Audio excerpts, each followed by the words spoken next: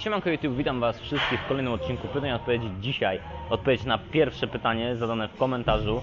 Eee, inaczej, pierwsza odpowiedź na pytanie zadane w komentarzu, to jest prawidłowa konstrukcja gramatyczna, eee, dlatego że przedtem po prostu wpisywałem na komentarze, natomiast to pytanie było fajne. Eee, I przeczytam Wam cały komentarz. Czekam na więcej filmików o zwyrodnieniach. Są naprawdę rzeczowe i pomocne. Szacun za wiedzę. Dzięki. E, lata praktyki. Nie no, nabijam się. Jestem, jestem nieskromny, wybaczcie mi. E, pozdrawiam. Postscriptum. Mógłbyś wrzucić coś o ćwiczeniach redukujących napięcie mięśni karku? Przy takim napięcie, przy takim napięciu ból promieniuje nawet do czoła. Nie jest to zbyt przyjemne. Wybaczcie za niezbyt płynne czytanie. Na was grałem jak jasna cholera.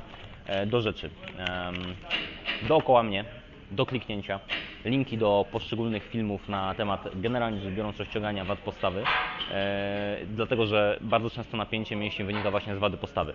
Jeśli na przykład Ty stoisz pionowo, tak?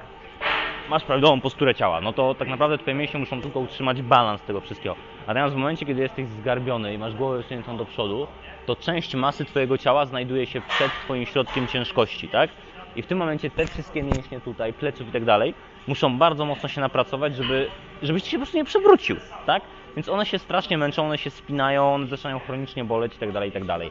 I one sobie nie poradzą e, z przywróceniem Twojej prawidłowej postawy ciała, jeśli nie umożliwisz im tego poprzez rozciągnięcie mięśni przeciwległych. Czyli tak, niećwiczona klatka piersiowa ma tendencję do przykurczania się, podczas gdy niećwiczone mięśnie pleców mają tendencję do zwiotczenia.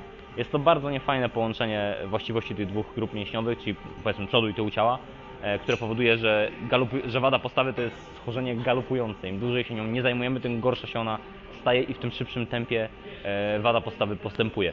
E, Tak więc w pierwszej kolejności obejrzyj wszystko, co możesz znaleźć w internecie na temat wad podstawy, podstawowych funkcjonalnych wad podstawy, symetrycznych. Nie mówię tu o skoliozach i, i jakichś innych relacjach, bo to jest o wiele bardziej skomplikowane i nie podjąłbym się tłumaczenia tego na YouTubie, bo jestem pewien, że coś bym albo ja powiedział źle, albo ktoś by coś źle zrozumiał i bym tym filmikiem mógł zaszkodzić, więc mówię tylko o symetrycznych wadach postawy.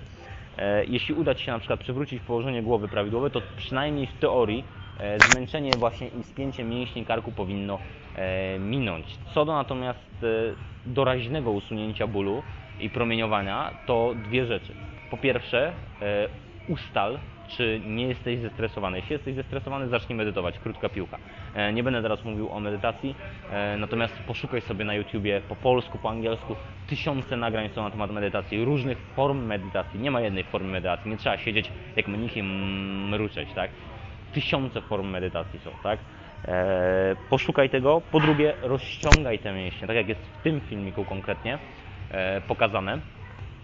I co jeszcze? Aha, jeśli chodzi o ból promieniujący na czoło, tak tutaj od boku, e, to może to równie dobrze być od mięśni skroniowo-żuchwowych. Czyli jeśli na przykład e, żyjesz w środowisku, w którym chcesz coś powiedzieć, wygarnąć komuś, że jest głupim debilem na przykład, ale nie wolno ci tego zrobić, bo jest na przykład twój przełożony, to zaciskasz zęby, tak, żeby, no kutwa, no powiedziałbym mu to, ale, ale nie mogę, tak? I potem się okazuje, że chodzisz cały czas z napiętymi tymi mięśniami. Rozciągaj te mięśnie. Głupia pozycja, ale robi się to tak. Po prostu otwierasz paszczę i rozciągasz te mięśnie, tak? E, rozciąganie też zmniejsza tonus mięśnia e, i przywraca może bardziej prawidłowy tonus mięśnia, nie tyle e, zmniejsza nieprawidłowy tonus mięśnia, może tak bym to ujął. To by było zasadniczo wszystko. Do zobaczenia następnym razem. Stay tuned!